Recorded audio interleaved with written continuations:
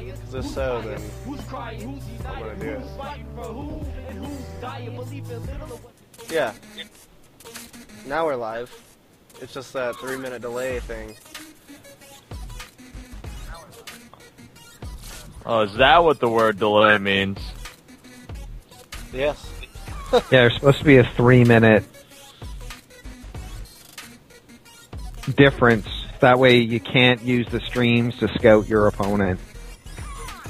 So what it is the delay just like seem longer than three minutes? Like you guys seem like you were waiting for like ten and it finally started coming up. Well, No, see, I, I just now at push it. Yeah, it didn't come out at all. I just now push it to our regular stream with no delay. And Yeah. um, before before I was trying to push it to the three minute delay, and Uh-huh. um, you know, so I, I did it at exactly at exactly thirty minutes till the event, and Right. it was five minutes later and nothing was coming up. And the past, you know, for the past ten minutes there was nothing coming up. So Hmm. yeah, You want to try a one minute delay? See if I that can't works? change it. No? Nope. It is. It does. You- It's not dynamically changeable yet. Oh, okay. You guys know uh, any of the admins at uh, Own TV? Um, not at owned, but I know the main admin at um, SC Streams Because I know. Well, you're trying to do the delay through Owned or? or through SC No. Streams. no, through Oh, SC. okay. Yeah. Alright, never uh, mind then. That's I know. where the event's going through. All right, because I know Owned uh, has their own delay, so maybe you could try the Own delay instead of the uh, SC Streams delay. Delay. See, the only thing, yeah, I don't know, maybe, um, I don't know. I'm, I'm gonna, we'll we'll just go without a delay. I'm just gonna let uh, the admin for uh, SC Streams know about it. Okay. But, And the thing is, if, S- if S- it's like a requirement to have a delay for the cast, then you know I could talk to Oleg on Owned, and he could probably hook you up with one. The, okay, the only problem is SC Streams is sponsoring the event. Well, you'd use them anyway. You just have the delay through Owned instead of SC Ah. Streams. we pull the right. we pull instead of push to, from owned. Yeah, yeah. Oh, okay, cool. Because right now we push to owned. You know. Right. So, um, Right. But anyways, I'll, I'll, I sent the message to Enrico. If he says anything, we'll go ahead and uh, we'll go ahead and change that up. But right now, uh, you know, guys, everybody, welcome to IMBA TV, where everything is in balance. We've got 15 minutes left until this uh, until this tournament gets started, and this is going to be the King of the Month Craft Cup SC Streams event. It's going to be sweet. And uh, before we get into anything else, let me go ahead and uh, and play a little video here from uh, that Jim made about the event here.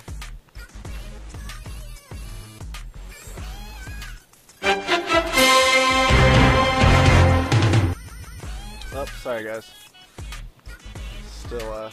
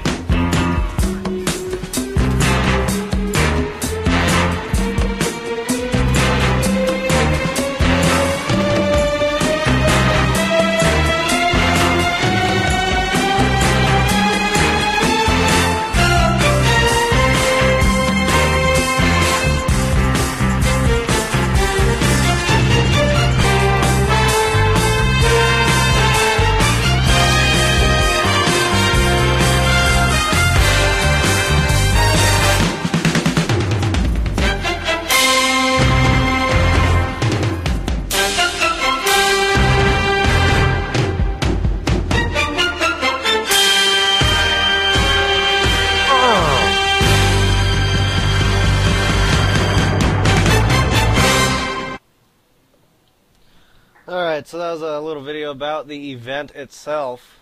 Let's get into it. Looks like uh looks like Enrico's gonna go ahead and change it back to a minute and we're gonna give that delay a try. So we're not in the clear yet. Well, hopefully that one will work. Indeed. In any event, everybody seems to be taking Naniwa to win this thing. Big T, uh, you're a Protoss player and a veteran of many Protoss mirrors uh, on the U.S. Craft Cup. What do you think? Um, well, you're gonna have to go ahead and refresh my memory of all the players because yesterday I only got the video for Naniwa, so he's the only one I I know for sure who's playing in the event today. Oh, okay, no problem. So we got Naniwa Insolence or Razor Inso, um, Strelok, and Rock's Kiss Palmy. And Nanny Naniwa will be playing Rock's Kiss Palmy in a Protoss Mirror in round one. Oh, that's tough. Naniwa is going to be a good pick for this event. Um, but however, I, you know, been following some of the recent results here, and Insolence has actually uh, won quite a few tournaments recently. So he's been performing very well as of late, especially in P vs P. A couple of the tournaments he played in were actually P vs P mirrors. I believe one he did actually defeat. Hmm, I don't think it was Nani. I know he beat I believe Mana in one of them, who was a very good Protoss player. So Nani was a good pick, but Insolence also look out for him. Okay. And uh, what do you think? Uh, what can these guys do to ground Strelok's dropships? Nothing, or what do you think?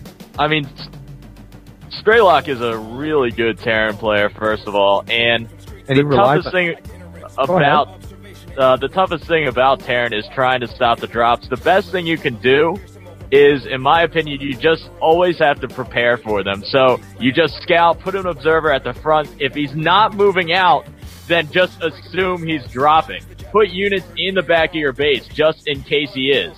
Um, so I think the best way to stop it is actually just preparation. It's, and it's, everybody should be okay if they do that it's too hard to chase the drops to try to chase them around and catch them, isn't it? I mean, they can come from any angle. Yeah, that's right. You really just have to. I mean, in my experience, I know I'm not the best Protoss player by any means, but I've been having pretty good success against stopping drops recently, and it's just by having units. You don't need your units everywhere. You just need them by your mineral line, where you're most most, uh, where you're going to take the most amount of damage. Right. So as, as, as long as you can protect your mineral lines from drops, then you're going to be just fine. Got it. I, I've noticed in Nanny in Nanny's games against Terran that he really doesn't invest a lot in chasing drop drop ships around. So we'll we'll see. You know what I mean? Like he doesn't really he uh, doesn't work in that way. There are other players that like to put phoenixes on patrol move and all this kind of stuff, and he doesn't. He doesn't do that at all. He's either on the offense or on the defense, not like ha- never halfway. Exactly, and I think that's the best way to play. So I think he's I think he's playing against those drops perfectly, in my opinion. Right. Cool. And I think we're going to be restarting shortly. Yeah, um, Stream. just waiting for the okay. It may uh, not. Are... It may not actually need to fully re or fully reset. Let me. I'm gonna try something here, but um, we'll see how it works out.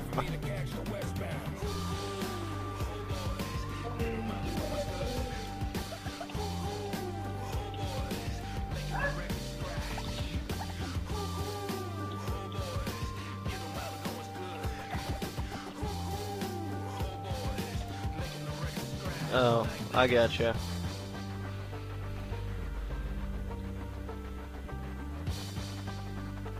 Okay, well, I'll start it with that one. Cool. Uh, just check and see if you've received it, that's all. Yeah, I, I see it right here now. Okay, cool. No the problem. other one's KOTM 2, and this one, or KOTM, and then this one's King of the Month 2. Yeah. So, yeah, I gotcha. Cool. So we're gonna not be able to not restart, but still get the one minute delay. Possibly. I'm gonna okay. give it a shot. All right. And thanks, Big T, for uh, showing up and help us helping us fill out the pregame show. Yeah, my pleasure. or my lack, pleasure. I um, lack just didn't know what time I was leaving. I am going out with my mom later this morning. Not ashamed of that. So didn't know what time we are leaving, but That's I cool, am man. going to be around for a little bit longer. So. Well, cool. Um, and you guys uh, should be. Uh, well, actually, never mind. Okay, well, it looks like we're going to go ahead and uh, keep it going with uh, the current stream. No delay or anything. But anyways, um, Hey, Big T, I gotta. Uh, can I talk to Big T about Protoss a bit, or yeah, go ahead, man. Um, okay? fine. Just if there's nothing important, okay. Um, I was gonna ask you about four gate uh, defending a four gate with three gate robo. Yeah. What what if you build a lot of sentries and keep force fielding your ramp?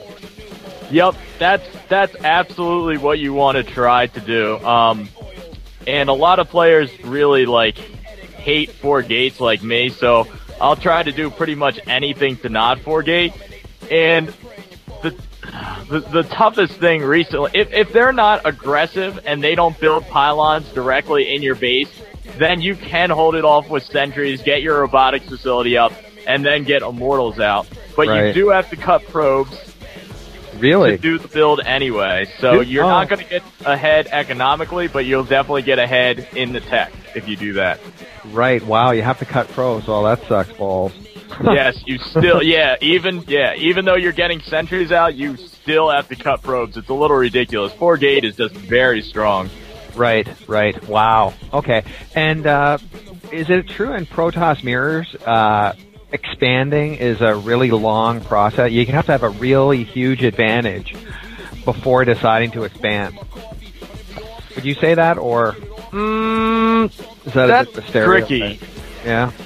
Yeah, um, it's really tough to tell when to expand. You can either wait for a while or you can try to just catch your opponent off guard. Like, I know a lot of people will actually try to expand really, really early because they know they're not going to be able to later.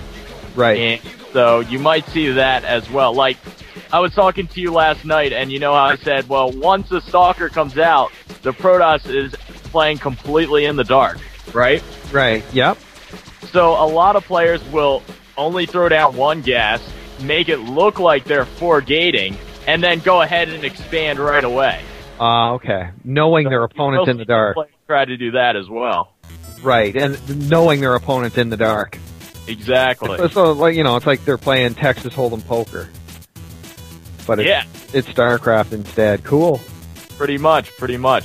So I have a question for you guys, um, since I'm such a noob and don't pay attention to anything. So how did these players actually get to the King of the Month tournament? Well, the uh, the players actually got here from the Every Friday Craft Cup. You know, that's the big Craft Cup of the week. The Um, Craft Cup yeah. main event, if you will. Yeah, the main event. And uh, anyways, so the winner of that Craft Cup got invited for this, uh, you know, for this event. So Oh, these are that's- four winners from the four weeks of January. Sweet, good. That's right. And uh, you know what? Before uh, we did, we got three minutes left. Let's go ahead and uh, let's go ahead and share with you guys a little bit about each one of these players here. We'll start off with the first one on the list, Razor's Inso. Insolence, also known as Razor Inzo, lives in Berlin, Germany, plays as Protoss, and is very well known for his early two-gate aggression and Phoenix harassment. Winner of Craft Cup 28, Inzo is ranked 49th in the world and ranked 26th in the region with over 1500 game wins. All right, and let's move on to Strelok, his opponent. Strelok is Eugene Operishev, a Ukrainian piloting the Terran, playing for Mao Sports. He is a six-year veteran of esports competitions at their highest levels, starting with third place or better finishes at WCG Ukraine 2005, 6, 7, and 8. Playing StarCraft 2, Strelok combined for more than 10 tournament wins in these open events Zotac, Go4SC2, and Craft Cup. His game against Protoss emphasizes medevacs and upgraded infantry for a quick strike style offense while using tanks primarily as support and defense units. All right, and uh, let's go ahead and see about the next two, Naniwa versus Rox Kiss Palmy. Here's a little bit about Naniwa. Our Swedish representative for the first SC Streams King of the Month is Naniwa, with a seemingly aggressive.